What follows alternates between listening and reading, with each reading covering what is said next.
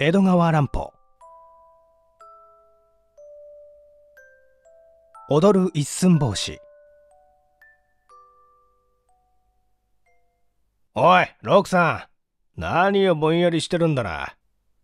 ここへ来て、お前も一杯お商売に預かんね肉襦袢の上に紫ジュースの禁止で縁取りをした猿股を履いた男が鏡を抜いた酒樽の前に立ちはだかって妙に優しい声で言った。その調子がなんとなく意味ありげだったので酒に気を取られていた一座の男女が一斉に六さんの方を見た。舞台の隅の丸太の柱に寄りかかって遠くの方から同僚たちの主演の様子を眺めていた一寸法師の六さんはそう言われるといつもの通りさもさも好人物らしく大きな口を曲げてニヤニヤと笑った。ほら酒はダメなんだよ。それを聞くと少し酔いの回った軽業師たちは面白そうに声を出して笑った。男たちの塩辛声と太った女どもの甲高い声とが広いテント張りの中に反響した。お前の下戸は言わなくったって分かってるよ。だが今日は特別じゃねえか。大当たりのお祝いだ。なんぼ不自由だって。そう付き合いを悪くするものじゃねえ。紫ジュスの猿股がもう一度優しく繰り返した。色の黒い唇の厚い四十格好の頑丈な男だ。ほら酒はダメなんだよ。やっぱりニヤニヤ笑いながら一寸法師が答えた。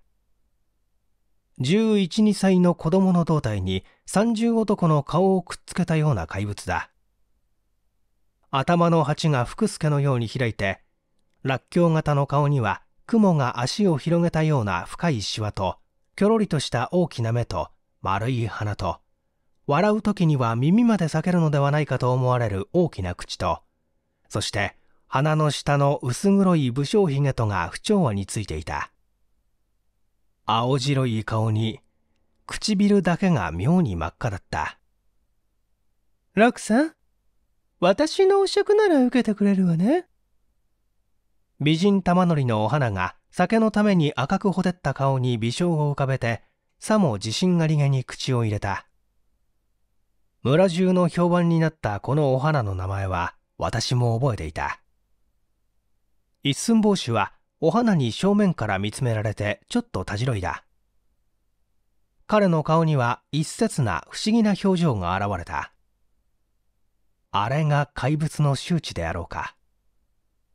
しかししばらくもじもじした後で彼はやっぱり同じことを繰り返したほら酒はダメなんだよ。顔は相変わらず笑っていたがそれは喉に引っかかったような低い声だった。そう言わないで。まあ一杯やんなよ。紫ジュスの猿股はのこのこと歩いて行って一寸法師の手を取った。さあこうしたらもう逃がしこないぞ。彼はそう言ってぐんぐんその手を引っ張った。巧みな同契約者にも似合わない豆蔵の六さんは18の娘のようにしかし不気味な強調を示してそこの柱につかまったまま動こうともしない。よせったらよせったら。それを無理に紫ジュスが引っ張るのでその度に捕まっている柱がしなってテント張りの小屋全体が大風のように揺れアセチリンガスの釣りランプがブランコのように動いた。私はなんとなく気味が悪かった執拗に丸太の柱につかまっている一寸法師とそれをまた意固地に引き離そうとしている紫ジュスその光景に一種不気味な前兆が感じられた。花ちゃん豆蔵のことなぞどうだっていいからさあ一つお歌いよ。ねえお囃子さん。気がつくと私のすぐそばで八時ひげを生やしてそのくせ妙ににやけた口を聞く手品使いの男がしきりとお花に進めていた新米らしいお囃子のおばさんはこれもやっぱり酔っ払っていてわいせつに笑いながら調子を合わせた。お花さん、歌うといいわ。騒ぎましょうよ。今晩は一つ思いっきり騒ぎましょうよ。よし、俺が騒ぎ道具を持ってこよう。若い軽業師が彼も肉襦袢一枚でいきなり立ち上がって、まだ争っている一寸法師と紫ジュスのそばを通り越して、丸太を組み合わせて作った2階の楽屋へ走っていった。その楽器の来るのも待たないで、八時ひげの手品使いは酒樽の縁を叩きながら、胴間声を張り上げて歌い出した。玉乗り娘の二さんがふざけた声でそれに合わした。そういう場合、いつもやり玉に上がるのは一寸法師の六さんだった。下品な調子で彼を呼び込んだ万歳節が次から次へと歌われた。天でに話し合ったりふざけ合ったりしていた連中が、だんだんその歌の調子に引き入れられて、ついには全員の合唱となった。気がつかぬ間に、さっきの若い軽業師が持ってきたのであろう、三味線、鼓、鐘、拍子木などの伴奏が入っていた。耳を老線ばかりの不思議なる一大交響楽がテントを揺るがした。歌詞の区切り区切りには恐ろしい怒号と拍手が起こった。男も女も酔いが回るにつれて全時強敵にはしゃぎ回った。そのうちで一寸法師と紫ジュスはまだ争い続けていた。六さんはもう丸太を離れてえへえへ笑いながら小猿のように逃げ回っていた。そうなると彼はなかなか敏捷だった。大男の紫ジュスは、低能の一寸法師に馬鹿にされて少々感触を起こしていた。この豆蔵め今に吠え面かくな？彼はそんな威嚇な言葉を怒鳴りながら追っかけた。ごめんよごめんよ三十面の一寸法師は小学生のように真剣に逃げ回っていた。彼は紫ジュスにとっ捕まって酒樽の中へ首を押し付けられるのがどんなにか恐ろしかったのであろう。その光景は不思議にも私にカルメンの殺し場を思い出させた。闘牛場から聞こえてくる凶暴な音楽と歓声につれて追いつ追われつしているホセとカルメン。どうしたわけか、多分服装のせいであったろう。私はそれを連想した。一寸法師は真っ赤な道家役の衣装をつけていた。それを肉襦袢の紫ジュスが追っかけるのだ。三味線と鐘と鼓と拍子木が、そしてやけくそな三曲万歳がそれを生やし立てるのだ。そして、やけくそな三曲漫才がそれを生やし立てるのだ。さあ、とっ捕まえたぞ、こんちくしょう。ついに、紫ジュースが歓声を上げた。かわいそうなロクさんは彼の頑丈な両手の中で青くなって震えていた。どいたどいた彼はもがく一寸帽子を頭の上に差し上げてこちらへやってきた。みんなは歌うのをやめてその方を見た。二人の荒々しい鼻息が聞こえた。あっという間に真っ逆さまに吊り上げられた一寸法師の頭が、ザブッと酒樽の中に浸かった。六さんの短い両手が空にもがいた。パチャパチャと酒のしぶきが飛び散った。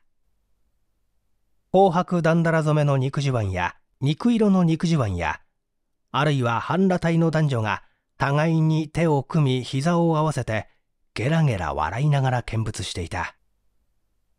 誰もこの残酷な遊戯を止めようとはしなかった。存分酒を飲まされた一寸法師は、やがてそこへ横ざまに放り出された。彼は丸くなって、百日関のように咳入った。口から鼻から耳から黄色い液体がほとばしった。彼のこの苦悶を話すように、またしても三曲漫才の合唱が始まった。聞くに耐えぬ罵詈残暴が繰り返された。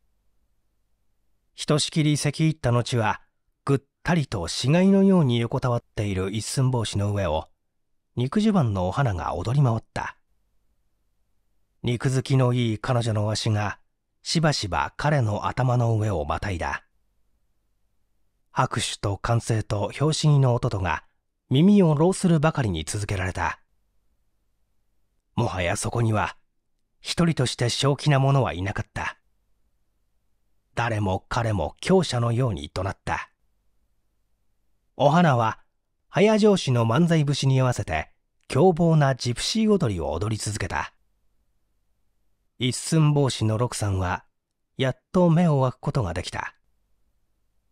不気味な顔が症状のように真っ赤になっていた。彼は片息をしながらひょろひょろと立ち上がろうとした。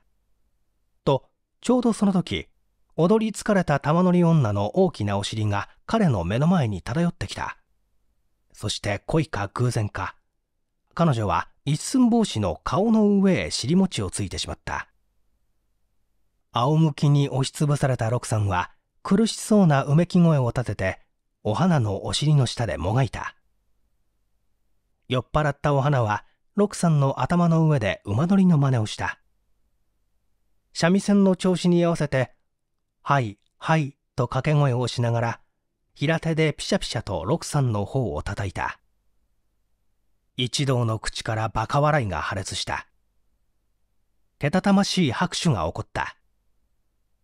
だがその時六さんは大きな肉塊の下敷きになって息もできず、半死半生の苦しみをなめていたのだ。しばらくしてやっと許された一寸法師はやっぱりニヤニヤと愚かな笑いを浮かべて半身を起こした。そして冗談のような調子で、ひでえなあ。とつぶやいたばかりだった。おいマリ投げをやろうじゃねえか。突然、金棒の巧みな青年が立ち上がって叫んだ。みんながマリ投げの意味を熟知している様子だった。やから一人の軽業師が答えた。よせよよせよ。あんまりかわいそうだよ。八時ひげの手品使いが見かねたように口を入れた。彼だけはメンネルの背広を着て赤いネクタイを結んでいた。そうマリ投げだマリ投げだ手品使いの言葉なんかに耳もかけず、かの青年は一寸法師の方へ近づいていった。おい、ロクさん始めるぜそう言うが早いか、青年は不自由な一寸法師を引っ張り起こして、その眉間を平手でぐんとついた。一寸法師は疲れた勢いで、さもまりのようにくるくる回りながら、後ろの方へよろけていった。するとそこにはもう一人の青年がいてこれを受け止め、一寸法師の肩を掴んで自分の方へ向けると、またぐんと額をついた。かわいそうな六さんは、再びぐるぐる回りながら、前の青年のところへ戻ってきた。それから、この不思議な、残忍なキャッチボールが、いつまでも繰り返された。いつの間にか合唱は出雲県の節に変わっていた。拍子木と三味線がやけに鳴らされた。ふらふらになった一寸法師は、執念深い微笑を持って彼の不思議な役目を続けていた。もうそんなくだらない真似はよせ。これからみんなで芸尽くしをやろうじゃないか。一寸法師の虐待に飽きた誰かが叫んだ。無意味な怒号と狂気のような拍手がそれに応えた。持ち芸じゃダメだぞ。みんな隠し芸を出すのだ。いいか？紫ジュスの猿股が命令的に怒鳴った。まず、皮切りはロクさんからだ誰かが意地悪くそれに言わした。どっと拍手が起こった。疲れ切ってそこに倒れていたロクさんは、この乱暴な定義をも底知れぬ笑顔で受けた。彼の不気味な顔は、泣くべき時にも笑った。それならいいことがあるわ。真っ赤に酔っ払った美人玉乗りのお花がふらふらと立ち上がって叫んだ。豆ちゃん、お前、ヒゲさんの大魔術をやるといいわ。一寸試し、五分試し、美人の獄門ってのを。ね？いいだろ？おやりよ。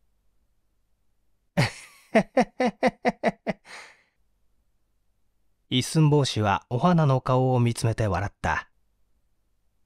無理に飲まされた酒で、彼の目は妙にドロンとしていた。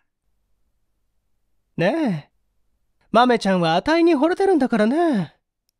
だから、あたいの言いつけなら何だって聞くだろあたいがあの箱の中へ入ってあげるわ。それでも嫌かい？ようよう一寸法師の色男。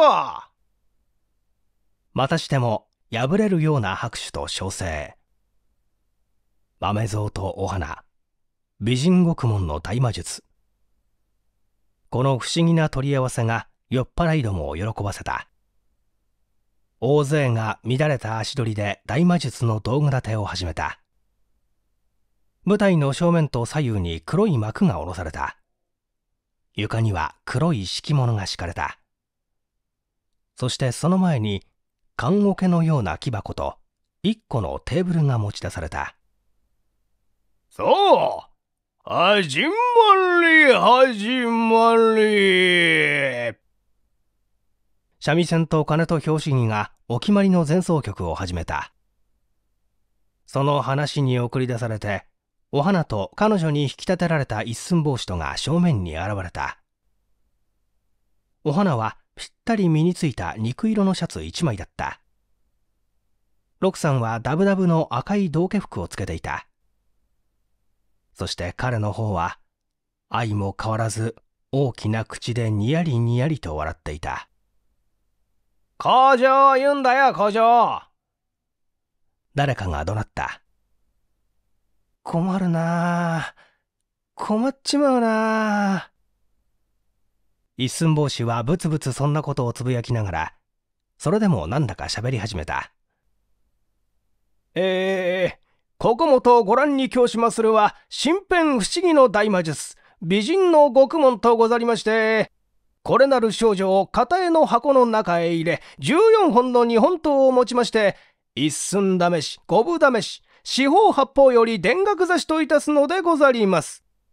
えーと、が、それのみにてはお慰みが薄いようにござります。かように切りさいなみましたる少女の首をざっくり切断いたし、これなるテーブルの上にさらし首とござい。は鮮やか鮮やかそっくりだ賞賛ともからかいともつかぬ呼び声がやけくそな拍手に混じって聞こえた。白地のように見える一寸法師だけれど、さすがに商売柄舞台の工場はうまいものだ。いつもの八時ひげの手品使いがやるのと、口調から文句から寸分たがわない。やがて美人玉乗りのお花はあでやかに一遊して、しなやかな体をその棺桶用の箱の中へ隠した。一寸法師はそれに蓋をして大きな錠前を下ろした。一束の日本刀がそこに投げ出されてあった。六さんは一本一本それを拾い、一度ずつ床に突き立てて偽物でないことを示した上、箱の前後左右に開けられた小さな穴へ突き通していった。一頭ごとに箱の中からものすごい悲鳴が、毎日見物たちを戦慄させたあの悲鳴が聞こえてきた。おお助けて助けて助けてこんちくしょうこんちくしょうこいつは本当に私を殺す気だよ。助けて。助けて。助けて。はははは鮮やか鮮やか。そっくりで。見物たちは大喜びで天然に怒鳴ったり手を叩いたりした。1本、2本、3本。刀の数はだんだん増していった。今こそ思い知ったかこのすべため一寸法師は芝居係で始めた。よくも、よくもこの俺を馬鹿にしたな。俺の一年が分かったか分かったか分かったかあれあれ助けて助けて助けて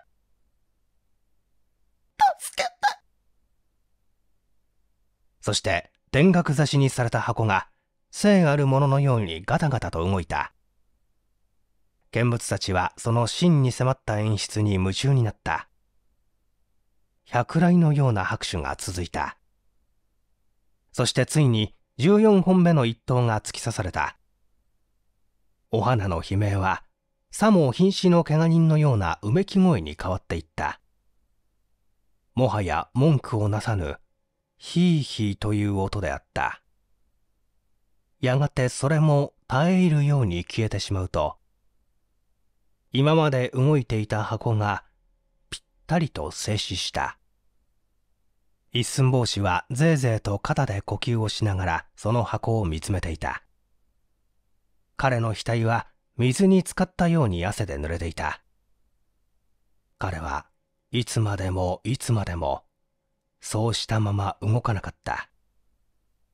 見物たちも妙に黙り込んだ。死んだような沈黙を破る者は酒のために激しくなったみんなの息遣いばかりだった。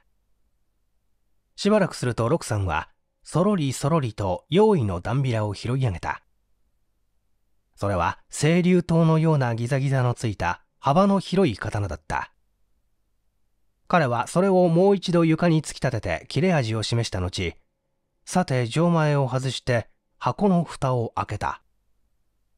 そしてその中へ九段の清流刀を突っ込むとさも本当に人間の首を切るようなゴリゴリという音をさせた。それから切ってしまった見栄でダンビラを投げ出すと何者かを袖で隠して片絵のテーブルのところまで行きドサッという音を立ててそれを卓上に置いた。彼が袖をのけるとお花の青ざめた生首が現れた。切り口のところからは真っ赤な生々しい血潮が流れ出していた。それが紅の研ぎ汁だなどとは誰にも考えられなかった。氷のように冷たいものが私の背中を伝わってスーッと頭のてっぺんまで駆け上った。私はそのテーブルの下には2枚の鏡が直角に張り詰めてあってその背後に床下の抜け道をくぐってきたお花の胴体があることを知っていた。こんなものは大して珍しい手品ではなかった。それにもかかわらず私のこの恐ろしい予感はどうしたものであろう。それはいつもの柔和な手品使いと違ってあの一寸法師の不気味な要望のためであろうか。真っ黒な背景の中に日の衣のような真っ赤な道化服を着た一寸法師が大の字に立ちはだかっていた。その足元には血のりのついたダンビラが転がっていた。彼は見物たちの方を向いて声のない顔いっぱいの笑いを笑っていた。だがあのかすかなものとは一体何であろう。それはもしや真っ白にむき出した一寸法師の歯と歯が勝ち合う音ではないだろうか。見物たちは依然として鳴りを潜めていた。しかしお互いがまるで怖いものでも見るようにお互いの顔を盗み見ていた。やがて例の紫ジュースがヌックと立ち上がった。そしてテーブルめがけてつかつかと二三歩進んだ。さすがにじっとしていられなかったのだ。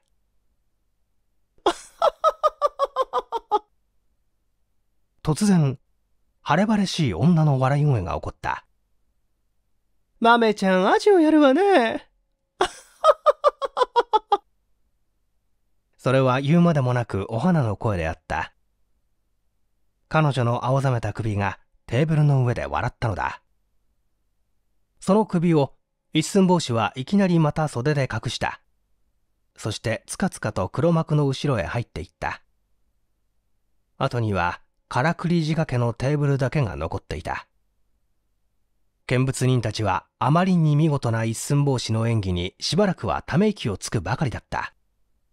当の手品使いさえもが目を見張って声を飲んでいた。が、やがて、わーという時の声が小屋をゆすった。胴上げだ胴上げだ誰かがそう叫ぶと、彼らは一段になって黒幕の後ろへ突進した。泥酔者たちはその拍子に足を取られてバタバタと折り重なって倒れた。そのうちのある者は起き上がってまたひょろひょろと走った。空になった酒樽の周りにはすでに寝入ってしまった者たちが魚菓子のマグロのように取り残されていた。おーい、ロークさん黒幕の後ろから誰かの呼び声が聞こえてきた。ロークさん、隠れなくってもいいよ出ろよまた誰かが叫んだ。お花姉さん？女の声が呼んだ。返事は聞こえなかった。私は言い難き恐怖におののいた。さっきのあれは、本物のお花の笑い声だったのか。もしや奥底の知れぬ一寸法師が床の仕掛けを塞いで真実彼女を刺し殺し獄門にさらしたのではないか。そしてあの声は、あれは死人の声ではなかったのか。愚なる軽業師どもは、かの八人芸と称する魔術を知らないのであろうか。口をつぐんだまま腹中で発生して私物に物を言わせる、あの八人芸という不思議な術を。それをあの怪物が習い覚えていなかったと、どうして断定できるであろう。ふと気がつくと、テントの中に薄い煙が満ち満ちていた。軽業師たちのタバコの煙にしては少し変だった。はっとした私がいきなり見物席の隅の方へ飛んでいった。案の定、テントの裾を赤黒い火炎がメラメラと舐めていた。火はすでにテントの周りを取り巻いている様子だった。私はやっとのことで燃える炎をくぐって外の原っぱへ出た。広々とした草原には白い月光が降り注いでいた。私は足に任せて近くの人家へと走った。振り返ると、テントはもはや三分の一まで燃え上がっていた。無論、丸太の足場や見物席の板にも火が移っていた。